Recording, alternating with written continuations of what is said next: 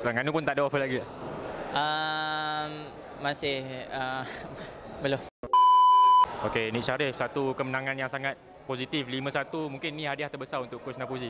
Alhamdulillah dengan hasil um, satu tim kita dapat bekalan yang agak selesa untuk ke Terengganu.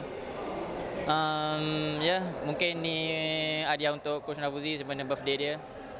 Okey, kita tengok kalau tak salah saya loan Nik Syarif sampai season ni.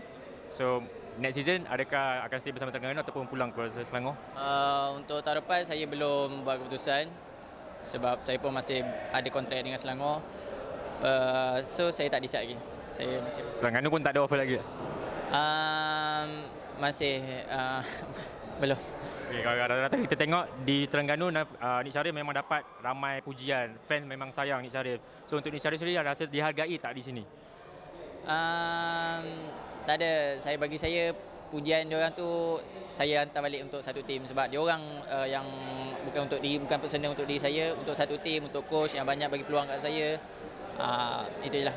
Okay, last uh, kata-kata untuk coach Nafuji sendiri yang maybe ambil Syarif dan kat sinilah Nik Syarif punya career berkembang dan dikenali.